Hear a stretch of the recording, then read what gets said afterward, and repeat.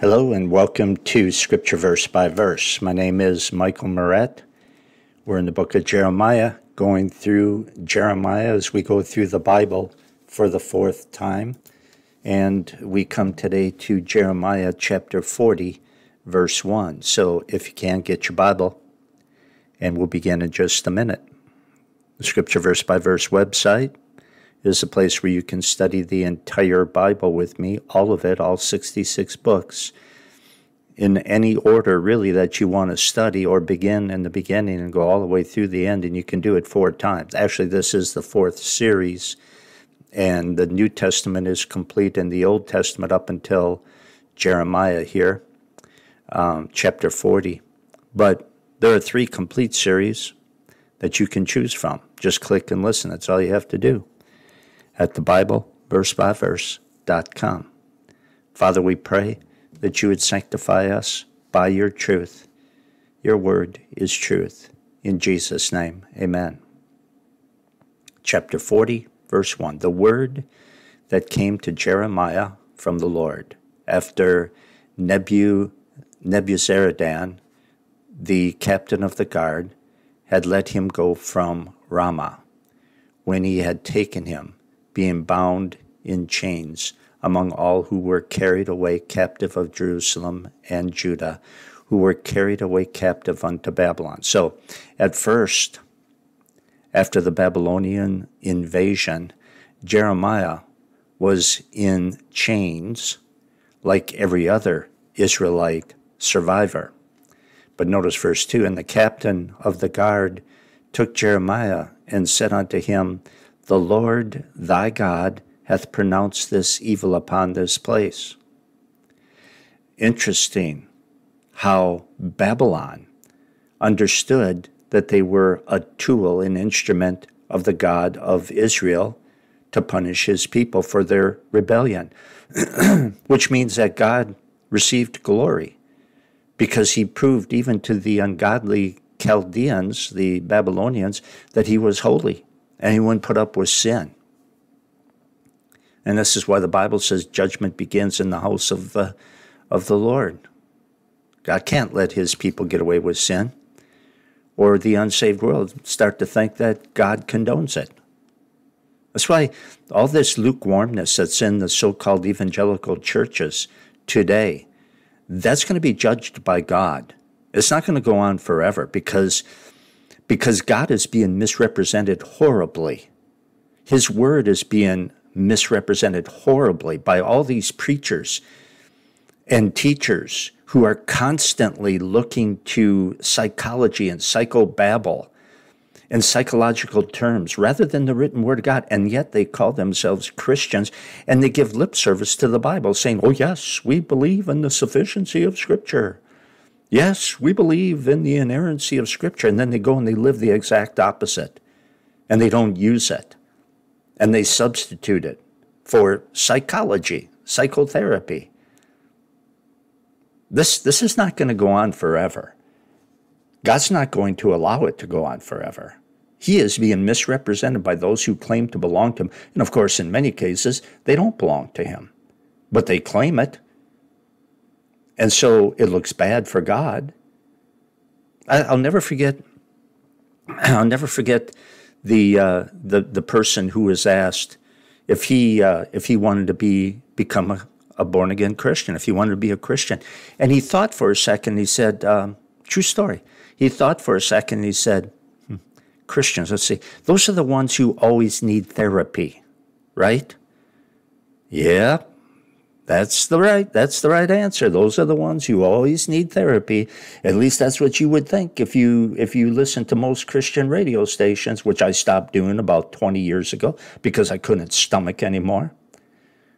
When I first got saved, the, the, the programs that were on Christian radio and even some secular stations were, were solid Bible teaching ministries. And it began to change as the old timers who really were radio pioneers um, began to die off or retire, and those programs were taken over, new ones replaced them, it slowly but surely transformed into psychobabble and it was replacing the Word of God with talk shows and giggly, giggly, giggly people, you know, talking silliness, trying to be cool. Just, I got so sick and tired of turning off Christian radio that finally I just stopped turning it on. Anyway, it's all, it's all about misrepresenting God, see? And that's what the Israelites did, and that's why God judged them. And he told Babylon why he was doing it too, because his name would be vindicated. And God has not changed.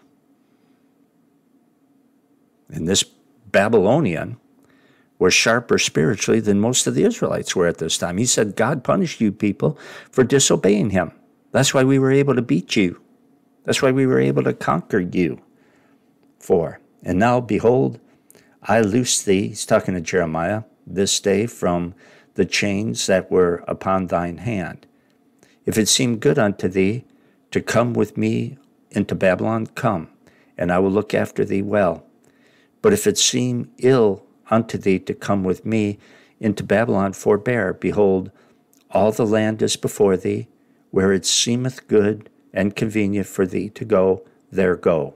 So Jeremiah is given freedom to stay in Israel or to leave and go to Babylon. And if, the, if he goes to Babylon, Babylon promises to take care of him. I'll tell you what, it was a rough road for Jeremiah. All those years that he preached to these rebellious Israelites. But he hung in there, he didn't quit. And now he's being blessed, as blessed as one can be in the midst of a situation like this blessed much more than the rest of the Israelites who had rebelled against God. You hang in there with Jesus Christ, and you'll be blessed in the end. 5. Now, while he was not yet gone back, he said, Go back also to Gedaliah, the son of Ahikam, the son of Shaphan, whom the king of Babylon hath made governor over the cities of Judah, and dwell with him among the people. Or go wherever it seemeth convenient unto thee to go. So the captain of the guard gave him victuals and a reward and let him go. So, in the midst of God's judgment, the Lord was taking care of his faithful servant, Jeremiah. Jeremiah was not removed from the place of judgment, but instead, God sustained him through the midst of it all. 6. Then went Jeremiah unto Gedaliah, the son of Ahikam, to Mizpah, and dwelt with him among the people that were left in the land. Jeremiah decided, remember, he was given the, the choice by Babylon, and he decided to stay in Israel with the poor people who were allowed to stay as well. 7. Now, when all the captains of the forces who were in the fields, even they and their men, heard that the king of Babylon had made Gedaliah the son of Ahikam governor in the land, and had committed unto him men and women and children, and of the poor of the land, of them that were not carried away captive to Babylon. Then, then they came to Gedaliah to Mizpah, even Ishmael the son of Nethaniah, and Johanan, and Jonathan, the sons of Kareah, and Seraphah, the son of Tamhuthmeth, and the sons of Ephel, the Netophathite, and Jezemiah, the son of Maakarite, they and their men. And I want to thank the Holy Spirit for giving me all those names. God has a reason for it. Verse 9 And Gedaliah, the son of uh, Hikim, the son of Shaphan, swore unto them and to their men, saying, Fear not to serve the Chaldeans, dwell in the land, and serve the king of Babylon, and it shall be well with you. Gedaliah, the governor of Israel, sorry about that. Gedaliah, the governor of Israel, encourages the surviving soldiers to be loyal to Babylon And he says everything will be okay. Now remember, Gedaliah, appointed by Babylon to be governor of Israel, governor of Israel, encourages the surviving soldiers of Israel to be loyal to their conquerors with the assurance that everything's going to be okay. It was God's will for Babylon to conquer and rule. So the Israelites and these soldiers must submit to Babylon, or they're fighting against God, which wouldn't be unusual since they've been doing it for decades, which is why they were conquered in the first place. But here's an opportunity for them to do what was right. 10.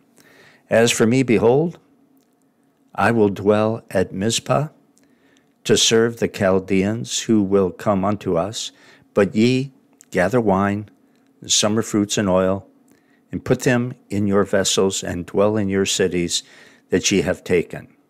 Jeremiah tells them to settle down and live a normal life. 11. Likewise, when all the Jews that were in Moab and among the Ammonites and in Edom and that were in all the countries heard that the king of Babylon had left a remnant of Judah and that he had set over them Gedaliah, the son of Ahikam, the son of Shaphan. Verse 12 Even all the Jews returned out of all the places where they were driven, and came to the land of Judah, to Gedaliah, unto Mizpah, and gathered wine and summer fruits very much. So the Jews who had been run out of town, as it were, the Jews who had run away during the invasion of Babylon to bordering countries returned to Israel when they heard that Babylon had established law and order in the land. 13. Moreover, Johanan, the son of Kareah, and all the captains of the forces that were in the fields came to Gedaliah to Mizpah and said unto him, Dost thou certainly know that Baas, Baalis, the king of the Ammonites, hath sent Ishmael, the son of Nethaniah, to slay thee. But Gedaliah, the son of Ahikam, believed him not. The soldiers warned the governor that had been established by Babylon to rule in Israel. The soldiers warned that governor that the king of Ammon, a bordering country, is plotting to kill him, the Babylonian governor. Gedaliah doesn't believe it, however. 15. Then Johanan the son of Kareah spoke to Gedaliah in Mizpah secretly, saying, Let me go, I pray thee, and I will slay Ishmael the son of Nethaniah, and no man shall know it. Why should he slay thee? That all the Jews who are gathered unto thee should be scattered, and the remnant in Judah perish. We got a good thing going here in spite of the fact that we've been conquered by Babylon and you're in charge. And if somebody kills you, then Babylon's not going to be too happy. And all these Jews who are finally settling down under the rule of Babylon here in Israel, they're going to be scattered again. It's just going to be more trouble. See, Gedaliah, the governor, is responsible for law and order and things are just starting to settle down and become somewhat normal for the Jews that remained in the land. If the governor is murdered, everything is going to be chaos again. So his officer says, Let me kill the man assigned from Moab to kill you. 16. But Gedaliah the son of Ahikam said unto Johanan the son of Kareah, Thou shalt not do this thing, for thou speakest falsely concerning Ishmael. This Ishmael character is not going to kill me. Gedaliah didn't believe that anyone would try to kill him, so he wouldn't accept the help that he was offered. You know, until one understands that they are truly in danger, they will not turn to the Savior for the help that they need. That's why the Word of God needs to be proclaimed clearly. All of it. Yes, even the part that calls sin sin. And as I said earlier, this false form of modern evangelicalism that has replaced biblical terms with psychological terms, sickness, alcoholism, for drunkenness, sin in general for behavior disorder and dysfunction. I mean, it just goes on and on and on. That's not that's not of God. And that's why no one ever gets saved. How do you get saved from a sickness? And you assume that, well, God won't send me hell because I'm sick. No, you're a sinner bound for hell and you need a Savior. But until you understand that, you won't repent because you won't feel guilty, because you'll feel justified. You won't repent and receive Christ as Lord and Savior, so you won't go to hell. I'm telling you, these preachers, so called, these pastors, these feel good preachers and pastors and Bible teachers will burn in hell for leading others to hell and for misrepresenting Jesus Christ and for shunning the Word of God in favor of human speak. If you don't feel guilty, you don't know you need a Savior. And the reason Gedaliah, we're going to see, is going to die is because he didn't think he was in danger. And the reason people go to hell today is because they don't understand that they are in real danger. If you want to be a part of this ministry, pray for me. Pray for God's word. And when you take a break from studying at the BibleVerseByVerse.com, click the donate button and prayerfully give as the Lord may lead. See you next time.